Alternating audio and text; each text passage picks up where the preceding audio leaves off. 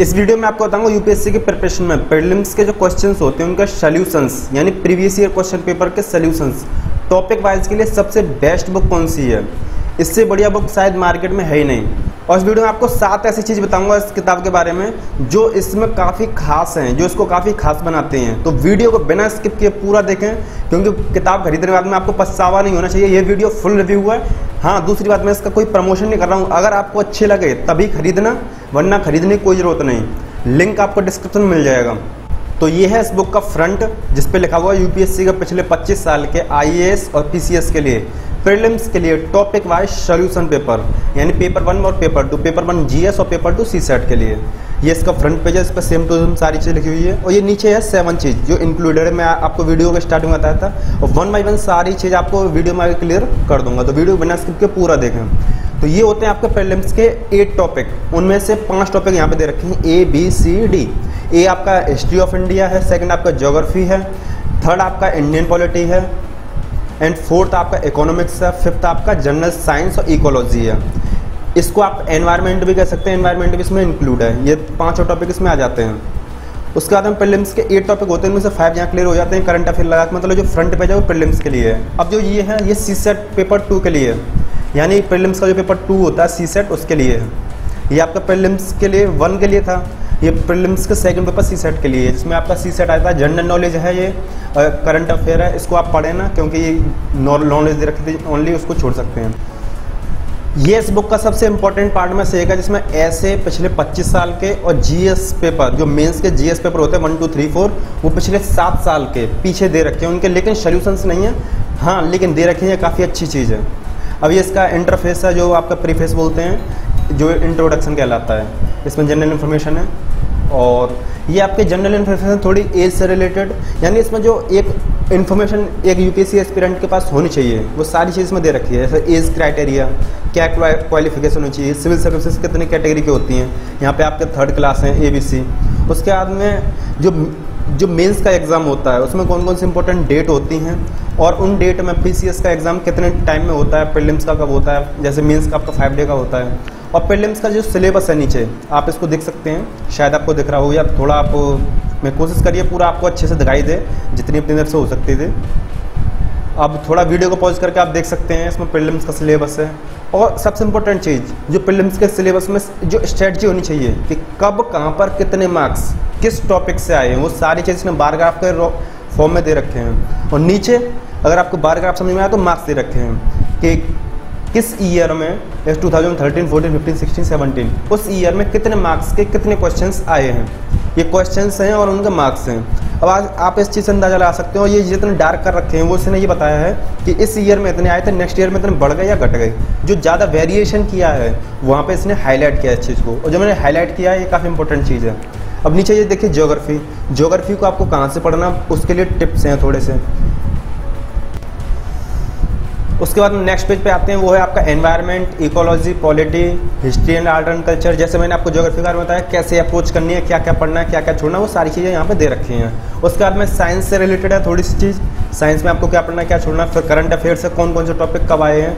अब इंपॉर्टेंट चीज़ क्या है, जो आप देखिए, यहाँ पे बारग्राफ दे रखे हैं कि करंट अफेयर में कौन कौन सी चीज़ ऐसे पूछी जाती है।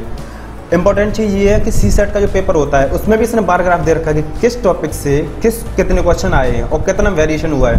ये हाईलाइट यहाँ पे दिए नहीं थे, लेकिन मैंने अपनी तरफ़ से कर लिया। जैसे टू थाउज़ेंड फिफ्टीन में आपको दिख रहा होगा कि फाइव क्वेश्चन लेकिन सिक्सटीन में फिर टेन मार्क्स हो गए। उसके बाद में इससे मार्क्स और ये काफ़ी ज़्यादा वेरिएशन हुआ है और कहीं कहीं पर बिल्कुल दिया नहीं है। तो आप इस चीज़ को बुक को देख के समझ सकते हैं। ये काफ़ी स्ट्रेटजिक बुक है। मैं इसलिए आपसे कह रहा हूँ, ये खरीदना काफ़ी ज़रूरी है। अब ये आपका प्रीलिम्स में कितनी कट ऑफ़ जाती है, कितने परसेंट रहनी है एज के हिसाब से, वो आपकी कैटेगरी के हिसाब से और आपके ईयर के हिसाब से सारी दे रखा है। और यहाँ पे आपका मेंस का सिलेबस है। वो आपका पहले प्रीलिम्स का था, यहाँ पे मेंस का है। मेंस में आपका ये पहला तो आपका इंग्लिश का है, जो कंपलसरी होता है सबके लिए। सेकंड आपका इंडियन लैंग्वेज का, जो आपके 24 या 22 लैंग्वेज होती है, उनमें से है। नीचे आपका ऐसे का है। ऐसे आपका ढाई सौ मार्क्स का होता है, फिर आपका G S one G S two या आपको उस वाले पेज पे जी एस वन है। यहाँ पर इस पेज पे दिखाता हूँ जी एस टू जैसे आपको दिख रहा होगा पॉलिटी गवर्नेंस सोशल जस्टिस आप इस चीज़ को समझ सकते हैं। ये देखिए आपको और दिखाऊँ थोड़ा ठीक से। अब पॉलिटी का देखिए। पॉलिटी में आपको दिख रहा होगा गवर्नेंस वगैरह, ये टॉपिक है सारे नीचे इंटरनेशनल रिलेशनशिप आईआर का टॉपिक है। तो ये सारी चीज़ इसने ठीक से क्लियर कर रखी हैं। जो सिलेबस है, वो भी एक स्पेसिफिक वे में दे रखा है। आपको फिर भी, फिर आपको इसको ठीक से पढ़ेंगे तो आपको इसको क्लैरिफाई कर लेना कौन सा टॉपिक किस सिलेबस से है। जैसे मैंने यहाँ पे सारे कर रखे हैं क्लियर अगर आपको वीडियो समझ में नहीं आ रही हो तो वीडियो को थोड़ा पॉज कर करके आप देख सकते हैं। मैंने आपका टाइम बचाने के लिए वीडियो को शॉर्ट बनाया थोड़ा, क्योंकि आप जल्दी जल्दी स्किप करके जाते हैं। आप स्किप ना करें इस चीज़ के लिए। अब कट ऑफ़ दे रखे इंटरव्यू में कितनी कट ऑफ़ होनी चाहिए उस पेज पे? अब इकोन ये जो टीचर हैं, मुन्नाल पटेल, इनका यूट्यूब पर चैनल है, काफ़ी अच्छे टीचर हैं और सारे यूपीएससी एस्पिरेंट इनको रिकमेंड करते हैं। ये इकोलॉजी पढ़ाते हैं। सॉरी इकोलॉजी नहीं इकोनॉमी उस इकोनॉमी को कैसे पढ़ना है अप्रोचेस क्योंकि उसको पढ़ाते हैं तो उसको बेटर में बता सकते हैं। तो उन्होंने यहाँ पे पिलर्स दिए हैं, बताया कि कैसे उसको पढ़ना है। तो ये सारी चीज़ें, कैसे इकोलॉजी को कवर करना है। अब बात करते हैं, जैसे आप हमने एक एंशियंट हिस्ट्री का टॉपिक उठा लेते हैं। एंशियंट हिस्ट्री में पिछले तेईस साल में जितने भी क्वेश्चन आए हैं, आपको यहाँ पे ईयर दिख रही होंगी। ये ये जितने भी ईयर्स आए हैं, उन ईयर्स में जितने क्वेश्चन आए हैं, वो सारे दे रखे हैं। देखिए एंशियंट हिस्ट्री एक टॉपिक है, एक सब्जेक्ट है। उसके क्वेश्चंस दे दिए पिछले 25 साल के, पिछले 23 साल के। उसके फिर सोल्यूशंस दे रखे हैं। इन सोल्यूशंस को देख के आप ये अंदाज़ा लगा सकते हैं कि कितने बेटर क्वालिटी का हमें याद रखना होगा कितने, कितनी इसकी नीड है, कितनी डिमांड है। ये सारी चीज़ आपको प्रीवियस ईयर क्वेश्चन पेपर ही बताते हैं। इसलिए मैं आपसे कहता हूँ प्रीवियस ईयर क्वेश्चन पेपर पढ़ना आपको बहुत ज़रूरी है। हर वीडियो मैंने आपको यूपीएससी सीरीज़ की हर वीडियो बताया है कि यूपीएससी सीरीज़ में आपको हर वीडियो बताया कि प्रीवियस ईयर क्वेश्चन पेपर पढ़ना कितना ज़रूरी है। अब सेपिंग टॉपिक उठाते हैं, देखिए ये वर्ल्ड पॉलिटिकल अब इसमें सारी चीज़ यहीं पर हैं।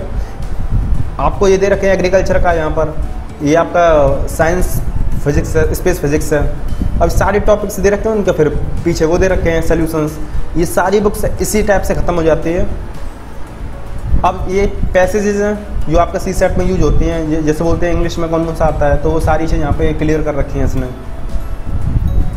उनके फिर सोल्यूशन दे रखे हैं कि आपको पढ़ना है इस बुक का सबसे इम्पोर्टेंट सेगमेंट एक ये भी है कि देखिए जो पहले मैंने आपको बताया था कि कैसे ऐसे पढ़ना है, वो इसने पीछे दे रखा है। तो ऐसे पिछले 25 साल के, शायद शायद तेईस साल के हैं, वो पिछले तेईस साल के इसने दे रखे हैं। उन में से कौन कौन से ऐसे आए हैं, किस टॉपिक पर आए हैं, क्या स्ट्रेटजी होनी चाहिए, कैसे पढ़ना है, वो सारी चीज़ इसने क्लियर कर रखी है इस इस बुक में।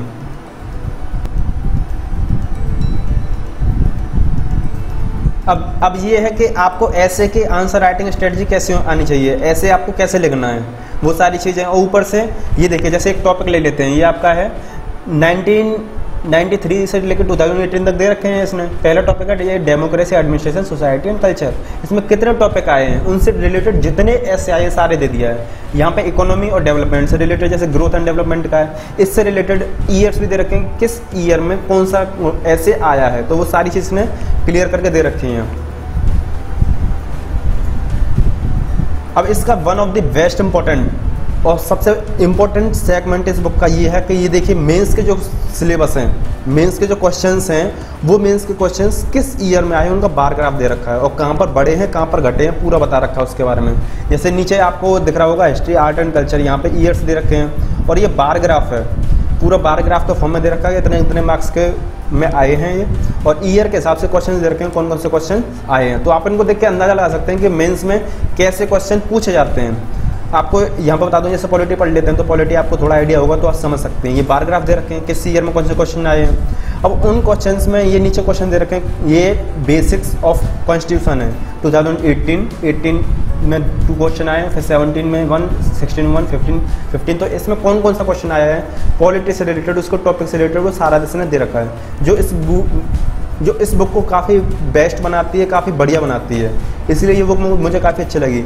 मैं इसको काफ़ी स्टैंडर्ड बुक जो है, जो स्टैंडर्ड बुक हम पढ़ते हैं, उनसे काफ़ी बेस्ट मानता हूँ उसको ये बुक हमें गाइड करने जा रही है और यही हमको गाइड करके बताएगी कि आखिर हमें पढ़ना कैसे है, क्या अप्रोच करनी है, क्या अप्रोच रखनी है। सात चीज़ आपको बताए थे।